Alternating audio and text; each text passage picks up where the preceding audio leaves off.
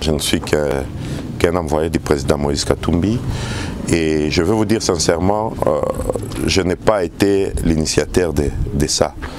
Euh, le chef a vu les vidéos qui sont venues de Goma euh, sur la mort de notre jeune frère Yves P. à son âme.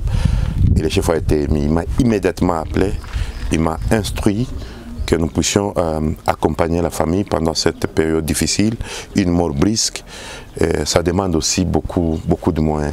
Euh, on a tenu à être là. C'est sur ces ordres que pendant trois jours, j'étais carrément permanent ici et ce matin, on sait que qui dit, dit, euh, dit beaucoup de dépenses. Il a voulu participer, tant soit paix, à, à soulager un peu euh, les charges liées à cet événement douloureux qui vient de frapper la famille. C'est pourquoi on est là ce matin. Bon, comme je l'ai dit au conseil, c'est un mot de remerciement.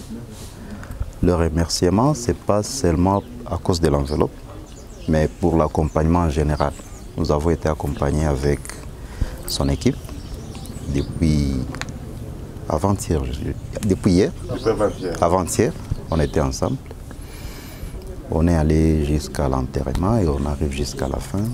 Vraiment, leur présence a été significative pour nous. Et on ne peut que dire merci. Et nous gardons ça dans notre cœur. Nous sommes reconnaissants pour ce qu'ils ont fait pour nous.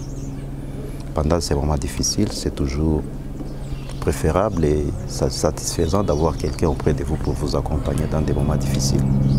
Oui, comme vous le savez, nous l'avons dit suffisamment et nous ne cesserons jamais de le dire tant que cette situation persistera. L'insécurité dans la ville de Goma, ça, ça devient de trop et nous pensons qu'il y a moyen que tout le monde contribue. Comme le président Moïse Katoumi, nous savons qu'il s'implique beaucoup dans, ce genre de questions. La jeunesse de la ville de Goma a élaboré un plan euh, qu'il a, a, dénommé euh, plan stratégique de sécurisation, de la participation des jeunes à la sécurisation de la ville de Goma. C'est un plan stratégique euh, que nous avons fait, accompagné par certaines autorités.